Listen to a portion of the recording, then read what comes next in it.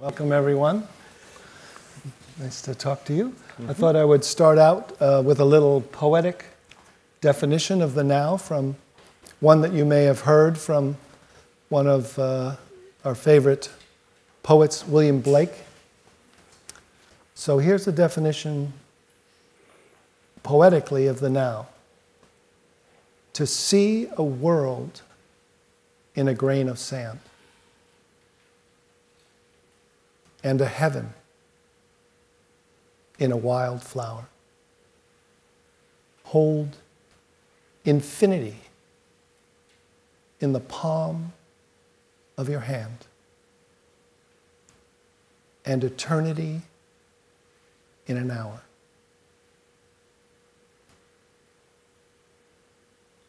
And that's it. Thanks very much.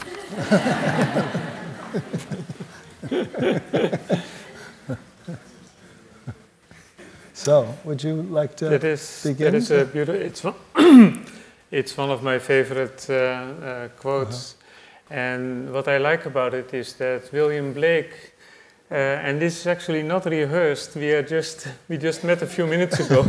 I was surprised that you brought this up.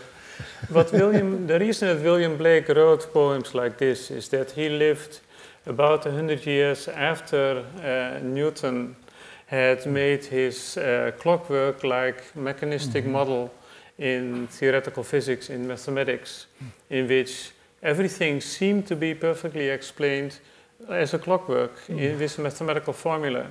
And William Blake in England and um, Goethe in Germany both revolted against that. They hated that and they wanted science to be different. Mm. But fortunately, scientists did not listen to them. They just went on with their science, and by their own light, a hundred years later, hmm. they stumbled on quantum mechanics, mm. which unfortunately Blake and Goethe didn't live long enough to uh, see, since they would have really loved it. it brought back the magic in the yes. understanding of matter and nature. Beautiful. Yes. Yeah. So that. Uh, so just getting a feel for it. I know that as we talk, we're going to get a little intellectual and a little, you know, just bringing uh, science and uh, different uh, uh, kind of new terms and definitions from Tibetan Buddhism, but really try to get a feel for what the now is as we begin to define it, as we begin to offer, just as William Blake did, kind of a shift into experientially uh, knowing the now, which is more felt than intellectually known. It's a, it's a direct experience uh, from the Tibetan Buddhist point of view.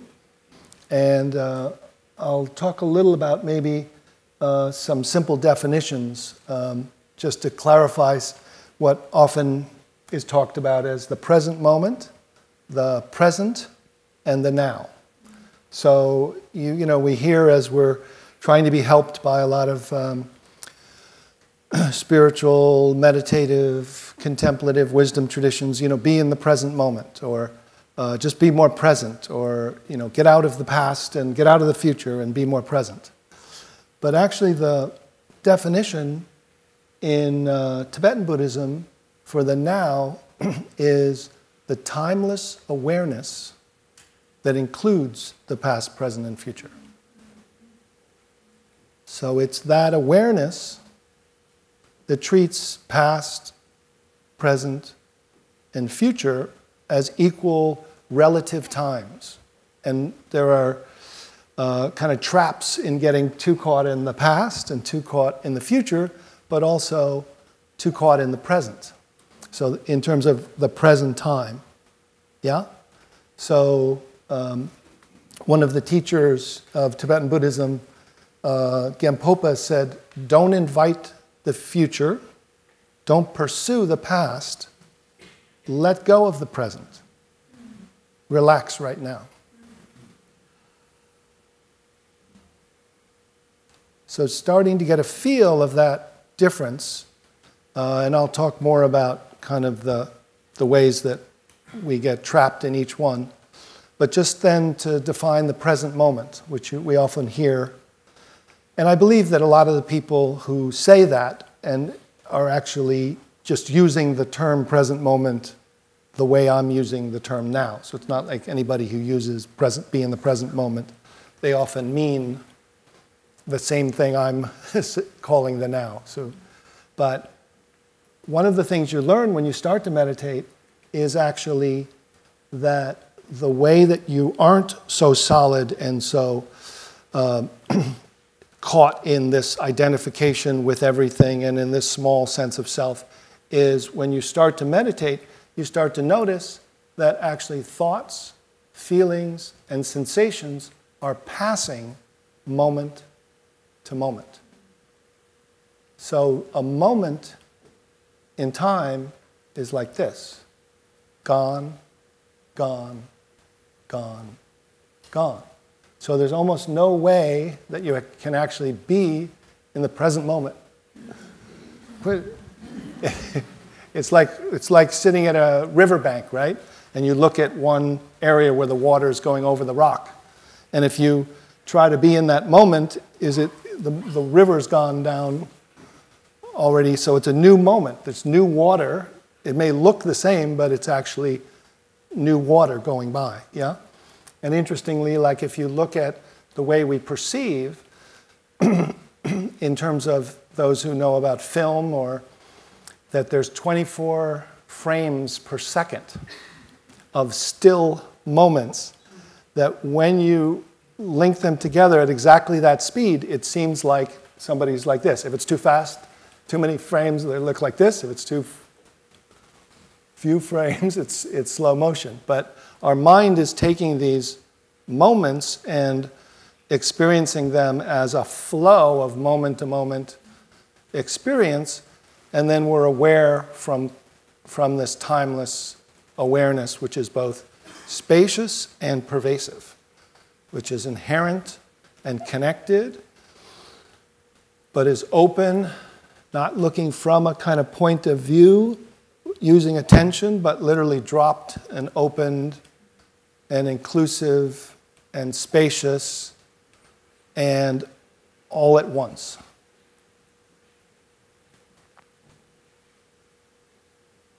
And from there, we can be in the now, remembering the past, deciding what we're going to do, writing a shopping list for the future, and then we can deal with the past, remembering what we need to go shopping for, writing it in the present, and deciding when we're going to go for the future, right? So you can have past, present, and future, and there's no problem with past, present, or future if you're not caught in one.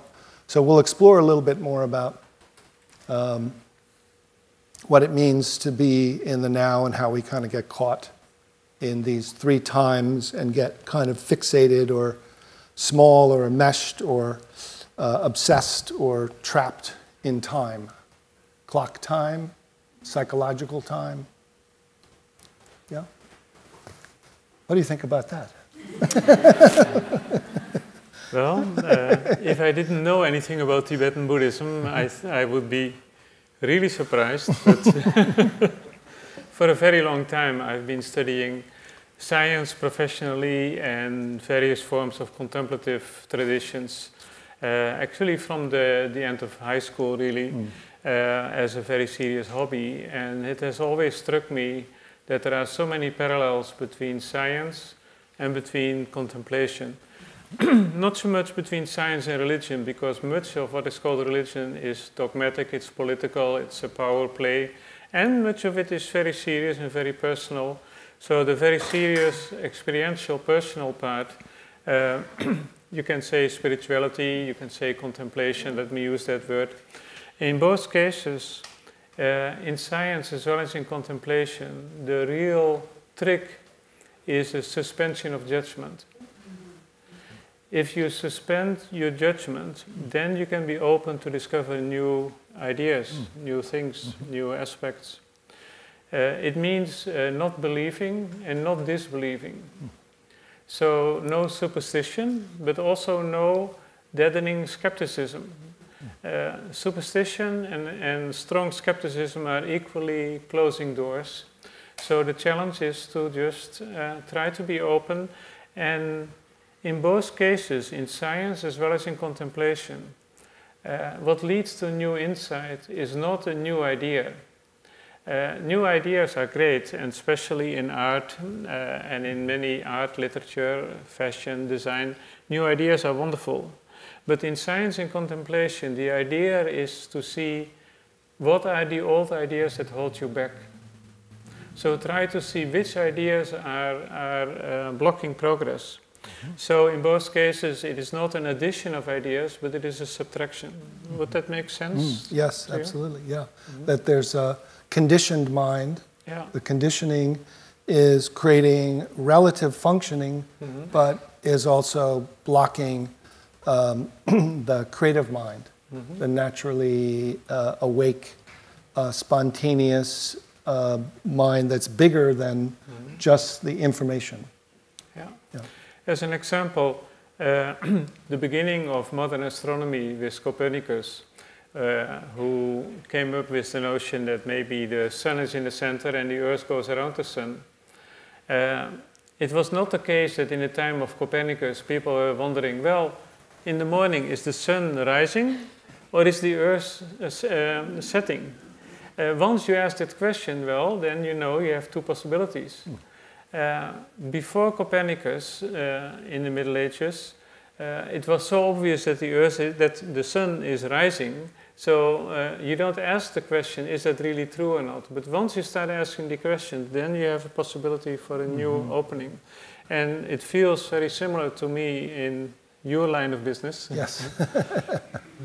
yes. Yeah. The you know the the amazing thing about this. Um, kind of contemplative sciences, there's so much wisdom now that's available, both from uh, texts that have been translated from around the world and meetings of minds from many cultures. All the wisdom traditions are, are being met and understood and being dialogued from empiricism, meaning what's true, what works, which part is um, cultural, religious belief, and which part is uh, what I call part of the human lineage, right? Mm-hmm. Which is the human consciousness, which is the part that we can definitely agree on, uh, is what is reported by these wise gals and wise guys, which mm-hmm. is basically that there's a well being, there's a sense of compassion that's natural and it's already installed in us. It's available, it's who we are, it's equally the same in all of us. But as you say, it's covered over by not only ideas and beliefs, but literally patterns of organizing identity and safety. And those patterns, we just keep reorienting because that's what we know, because that's what the culture is supporting. Mm-hmm. And so, even when people have glimpses of this amazing freedom and joy and embodied uh, community. Uh, you know, they leave a retreat and a day later they're back and snap. They're back in, you know, I'm sure a number of you have had that experience. You're back in the old way and you kind of remember, oh yeah, remember that? You know, whether it's I went on that retreat or I climbed that hill in that beautiful part of nature and when I got there with my friends, we felt such joy that we had accomplished something, and then we let go of the striving, and we looked out over the vista. We felt this vastness, and we felt, looked at each other and smiled, and just felt this sense of complete joy and, and connection and well being to everything. And our creative mind started working. And now two days later, oh, when is my next vacation so I can go back to that place? Because that's where it is. And so the question is is that where it is? Or is it, is that natural condition which was brought on by conditions of, which help to support it, mm-hmm. can that be accessed now because it is natural? And that's the kind of pioneer or revolutionary possibility that groups of people now are starting to support each other to kind of continue to wake up and continue to grow up.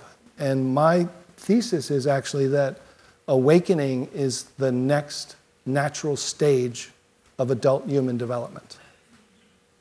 And that that is absolutely capable, but there's so much um, resistance within us that the strong, sometimes the strongest uh, ego development that led us to be able to consider that is, is what's preventing us from going beyond it.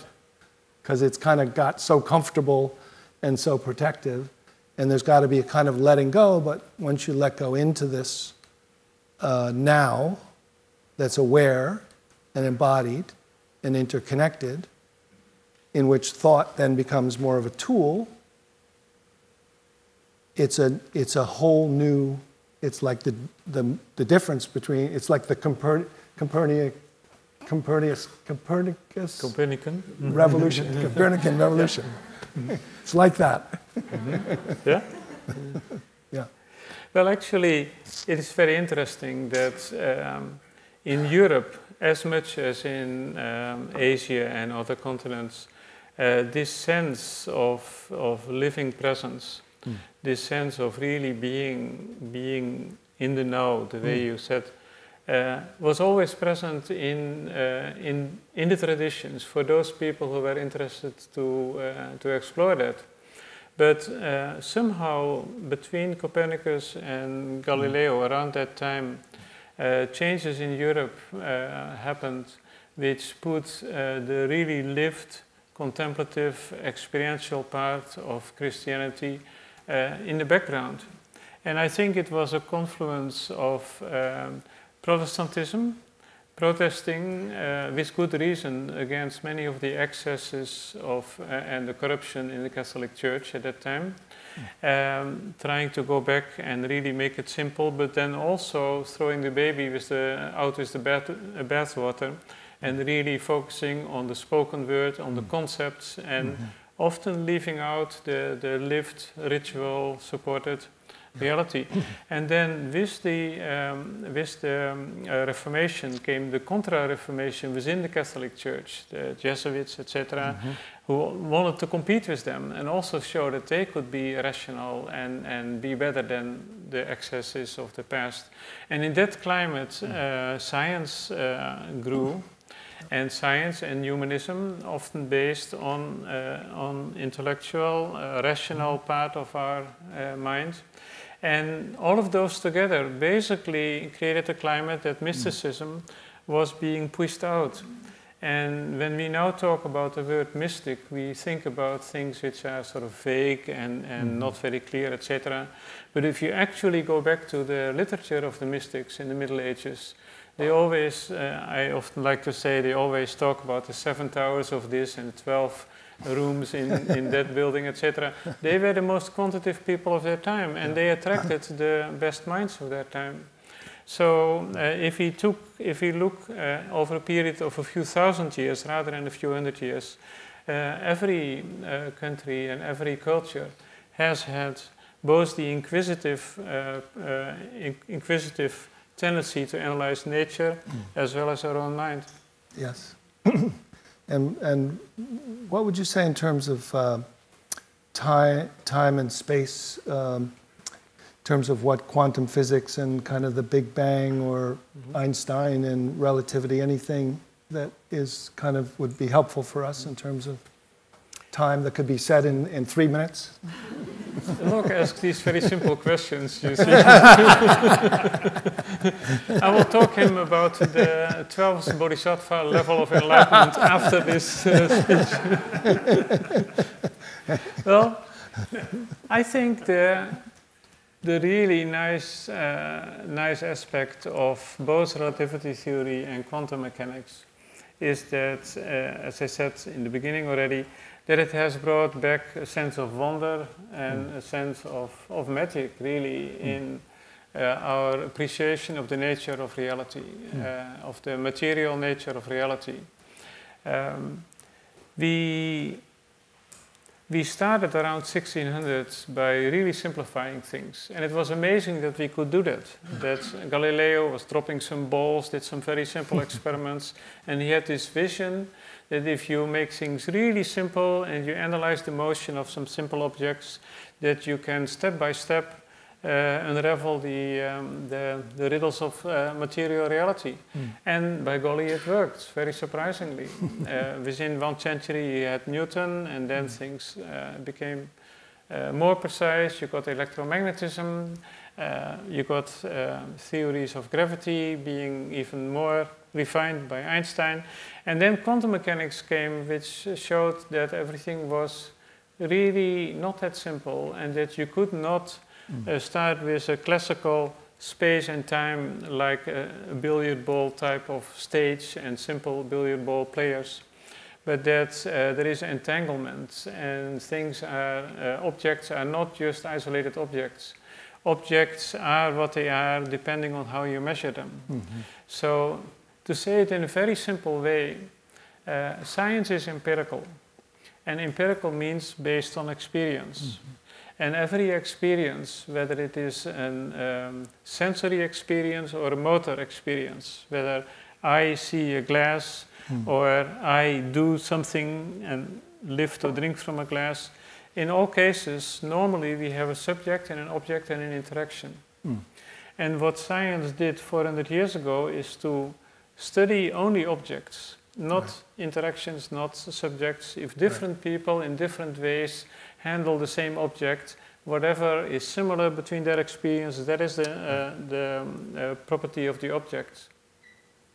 That was very, very radical and very naive. Uh, there were other cultures uh, in India and China uh, for thousands of years before 1600.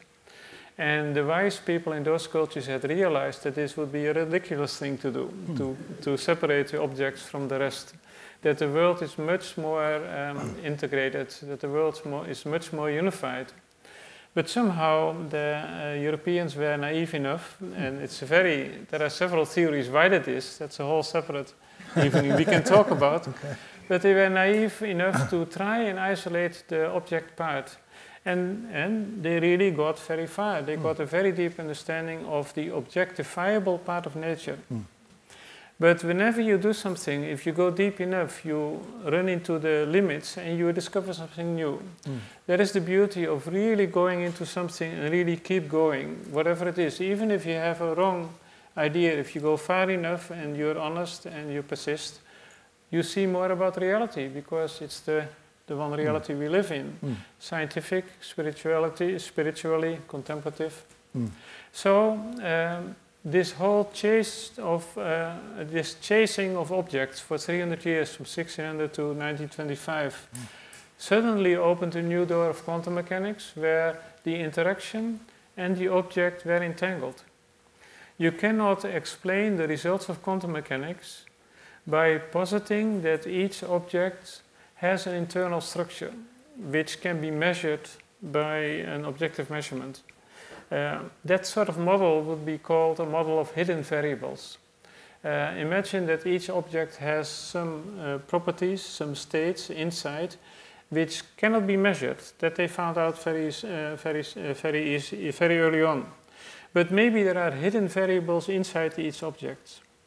50 years after the invention of quantum mechanics, um, John Bell uh, discovered that the mathematical theory of quantum mechanics can be used to prove that there are no hidden variables. Not only are the variables uh, of reality hidden in the uncertainty principle of quantum mechanics, that was discovered in 1925, but 50 years later, half a century later, it was discovered that we can prove that there are no hidden variables, that any set of variables you might guess might be there would be not compatible with the measurements. Hmm. In other words, if uh, two quantum states are entangled, two particles are entangled with each other and, be, and they are being measured at very different places, the moment that this is measured, it influences the uh, type of correlations you can measure there. You cannot send signals, there is no causal relation, that would be very strange. yeah. And uh, that would uh, not be compatible with our classical everyday experience. But the influence of the correlations, uh, if you it, uh, posit it uh, classically, it has to go much faster than the speed of light. So right. there are all kinds of things which break down, and the bottom line, the way I would interpret it, uh, is to say, in the, this, in the invention of quantum mechanics, we realized that between subject, interaction, and object, uh, interaction and objects are entangled. And I think it will be only a matter of time before subject and interaction and object all will be seen to be given together. Like all the great wisdom traditions have told us all along, mm. that the notion of a self is just an artificial pulling out of reality, just as the notion of an object is an artificial pulling out of the tapestry of reality. But you can do that to some extent. You can get very far, and then uh, if you continue, uh, reality will show you that where the limits are and how you can go back to a more integrated way. So I think this particular decade uh, is the time that the study of the object and the mm. study of the subject are forced to come together, whether we want it or not. Yeah. Uh, the rapid progress of neuroscience, which tells us, which is so connected to who we think we are, and the rapid progress of AI and machine learning, artificial subjects, we are now creating artificial subjects. this finally makes science completely empirical. Empirical, not only one third empirical on the level of objects, but also on the level of subjects and interactions. Yeah. So whether we want it or not, we will become colleagues at the end of this decade. so we better prepare. I might as well start now. Yeah. That's good. Yes.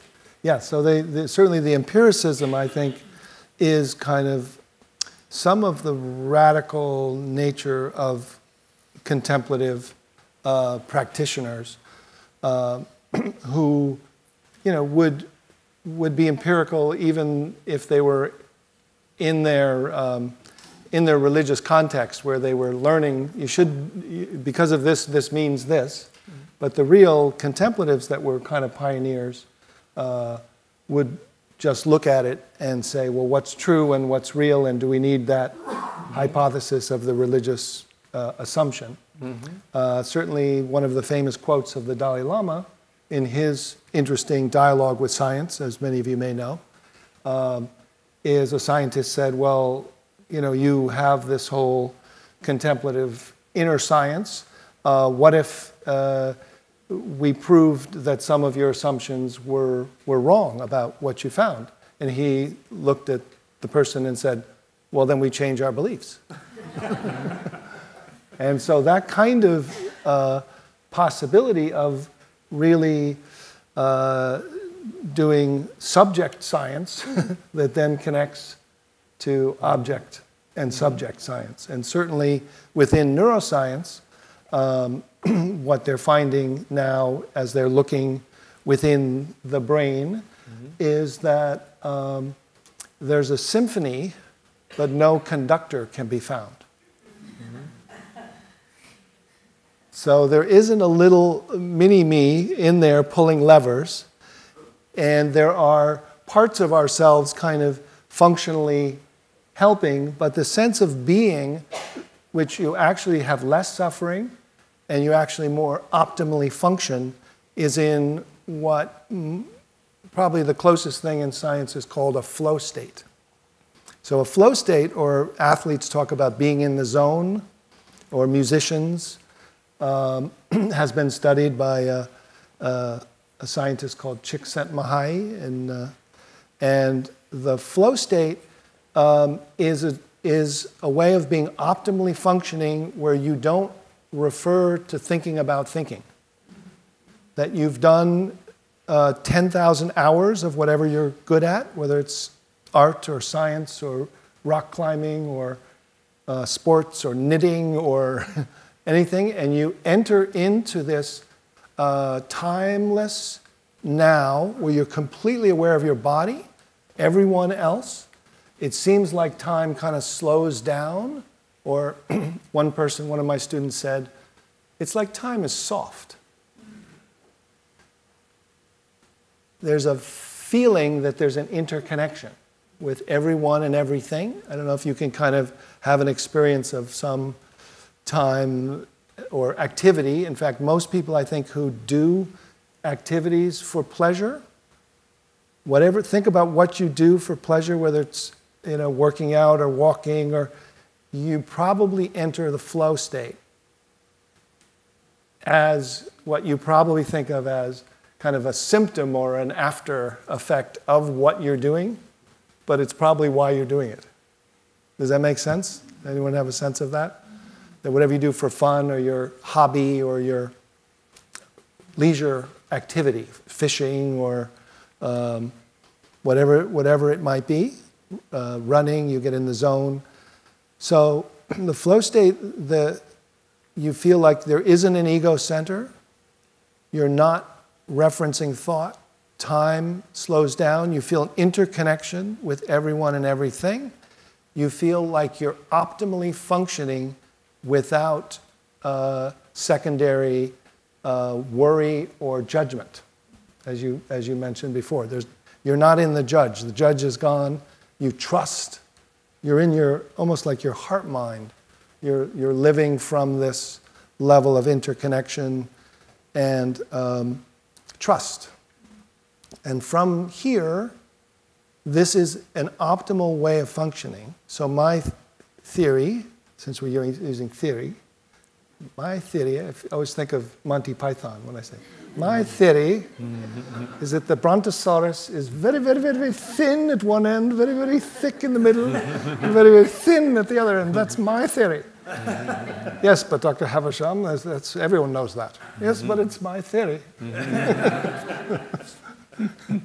so, so, so, so, my, my, the, my theory is that, that we've all done 10,000 hours of walking, language, talking, relating to other people, whatever work you do, you have all those tasks, functional tasks, as an adult.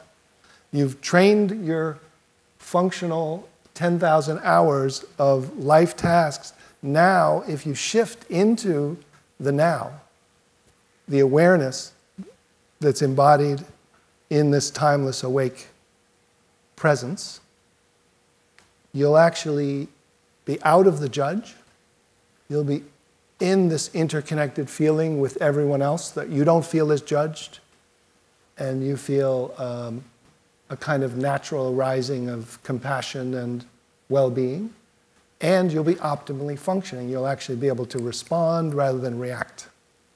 So, this, you know, so one of the doors is the now into this. The, the main, really, um, quality is, is the different type of awareness rather than attention or mental um, judgment and self referencing, is getting out of that into this kind of awareness based knowing that's embodied and open hearted. And that's, that kind of brings you into the now.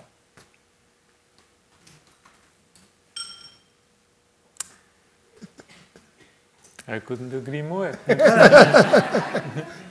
See, this doesn't help as a beginning of a collaboration, but uh, I think what we are going to do, and we may as well start now, yeah.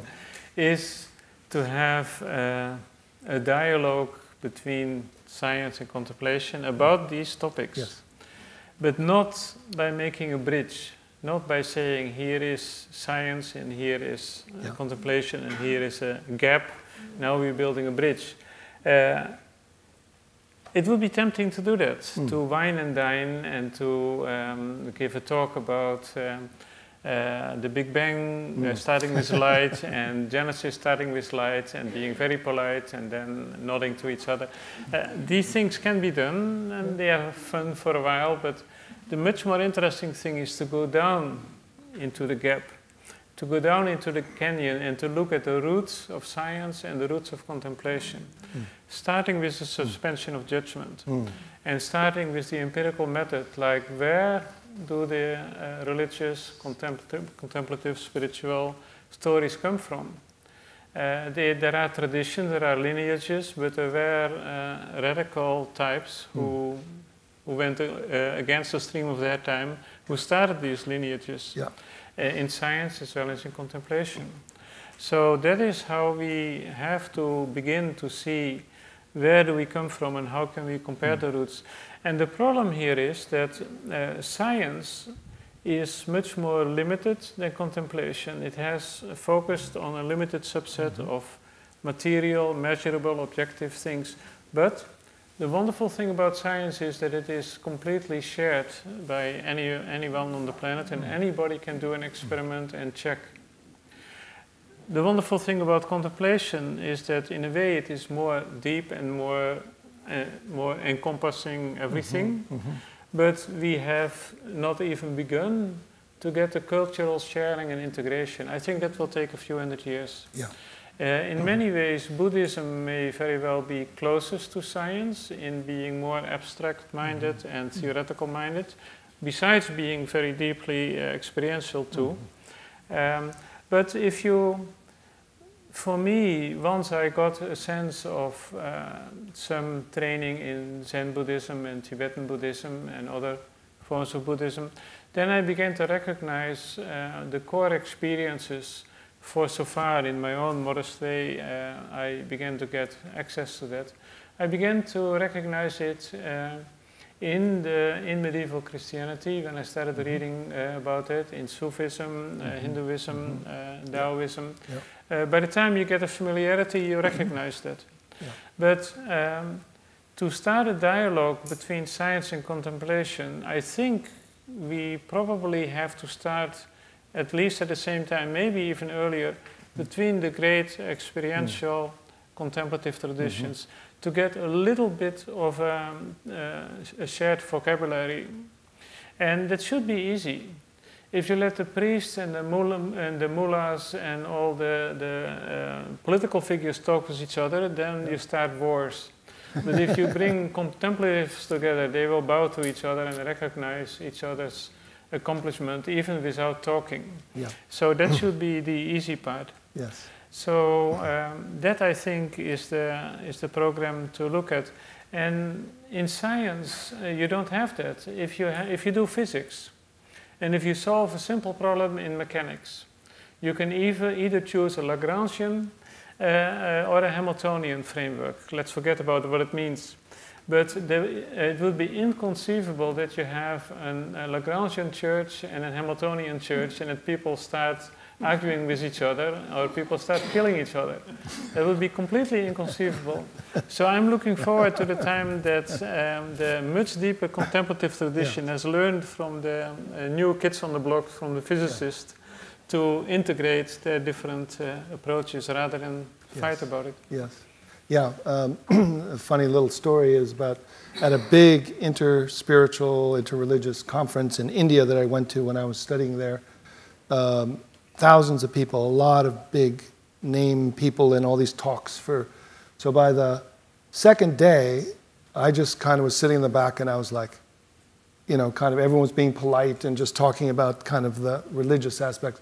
I walk out into the courtyard and kind of all of a sudden I see like there's two or three other people there, then there's four or five, and then we all get together, and the, these people became like my best friends, and they were all like the contemplative people who had kind of burned out at the same time on the, and all kind of went out for a break and needed a little air, and you know we're we're also from, but interestingly, one Sufi, one uh, Kabbalist, one you know one. Uh, a Hindu yogi, one you know more Buddhist, and but it was a, a you know great uh, meeting. Um, so you know so this the sense of the now as being held by that we're held in time, psychological time, we're held in um, clock time, and that the dualistic mind, the identi- identification that's created with this little managing system, uh, keeps orienting uh, and almost creates this feeling of a little uh, identification, almost like it's an entity in your head behind your eyes looking out, right? Like, what's going on? What am I going to do? And it's almost co ops your body's uh, survival program, um, which is supposed to, you know, watch out for cars when you cross the street and is supposed to remember to you know, plan, you know, get some food at the grocery store so you'll have enough in the refrigerator when you get home late at night and you won't have not planned for the future. And so it has to problem solve. But when this sense of not being in the flow creates this little mini me, this, uh, it creates a kind of what in Buddhism suffering is often defined as perpetual dissatisfaction. Anyone identify with that? yeah, we have a few. so that perpetual dissatisfaction is really that little judge or that problem solver on the level of identity. So, you know, there's definitely issues and problems and stuff to be dealt with on the relative level, but there's the secondary who am I? What am I going to do? What am I going to get to satisfy me as a little thought based loop, looping pattern that keeps trying to get something in time to satisfy it, but there's nothing for it to eat. There's nothing for it to satisfy because it's made of thought. And it thinks it's uh, a real being, it's a real person in there. So when that problem solver or that judge, judging part relaxes, you can almost start to feel the awareness and the nowness. Yeah? So just simply try this simple inquiry and look with awareness. So, no big deal. You don't have to close your eyes or anything. Just simply ask yourself this question and then look with awareness. What's here now when there's no problem to solve?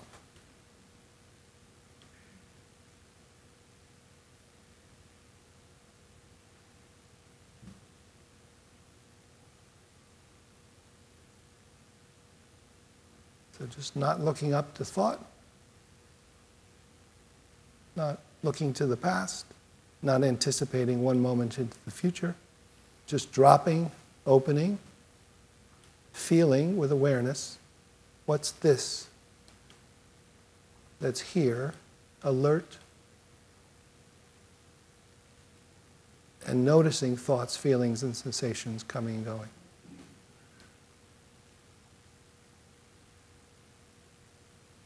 What's here? What's this like? So just say a quality or phrase out loud. Anyone?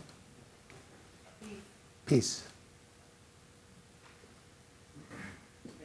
Space. Nothing. Everything. Me. Quiet. Contentment. Whole. Ah. Why? Why? Chair. Chair.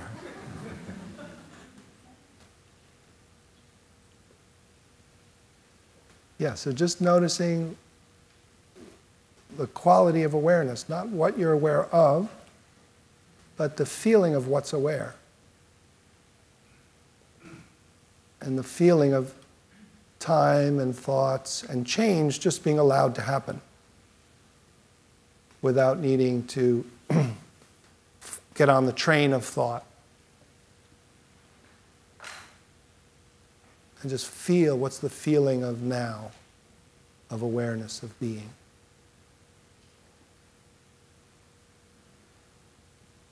As moments come and go.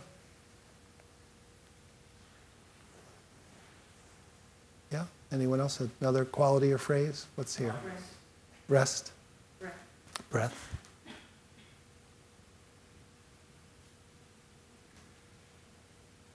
Tickle. Tickle. Toward what end? Toward what end? Now. so just not what you're aware of, but what is the awareness like? What is the nowness, the all at onceness? Just that turning of awareness to itself rather than what you're aware of. The breath, what is that awareness? That's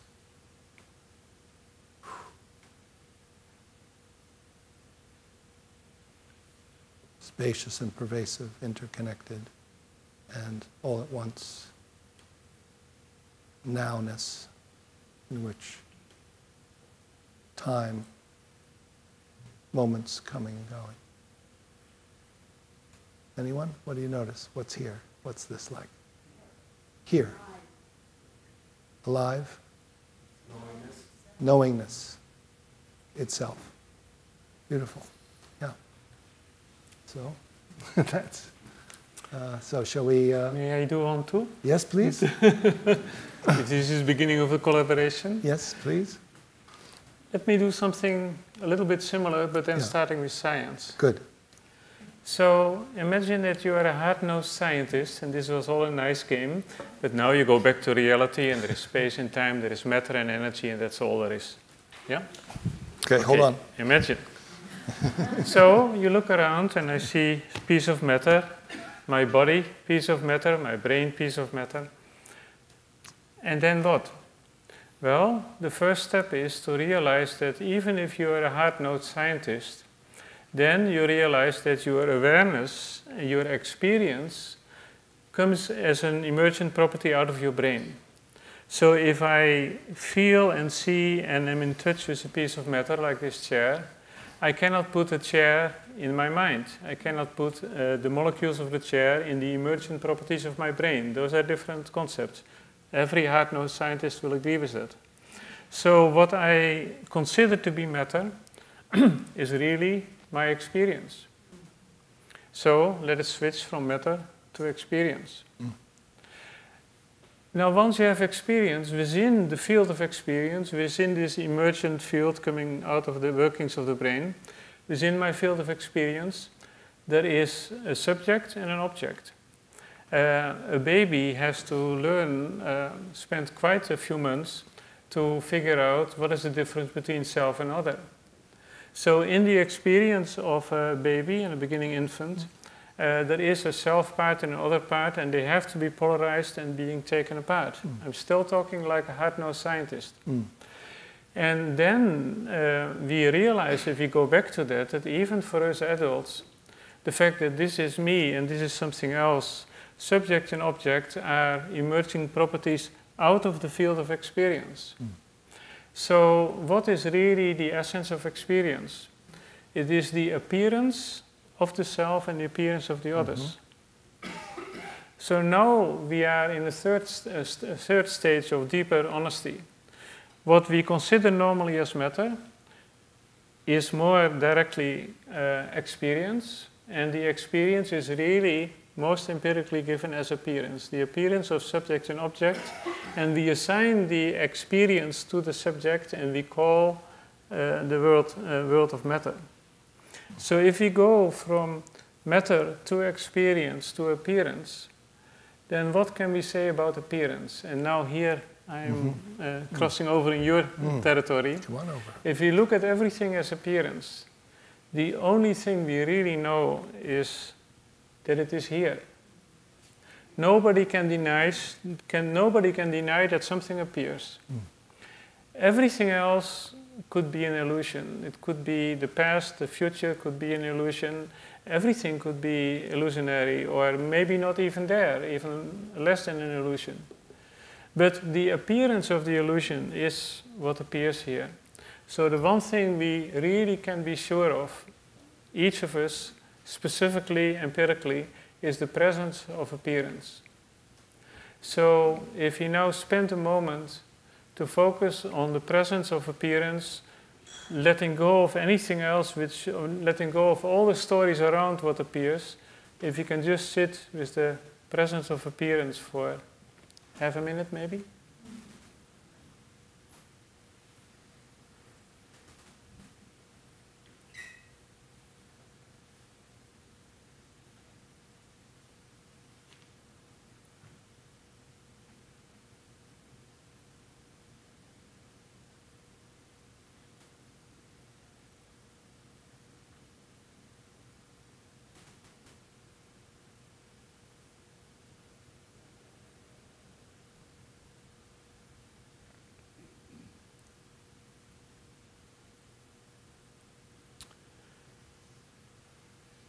And part of the presence of appearance is the clock which Tim told us to watch, and we are at the very end at uh, what was given to us. So I think we now have to The time is now.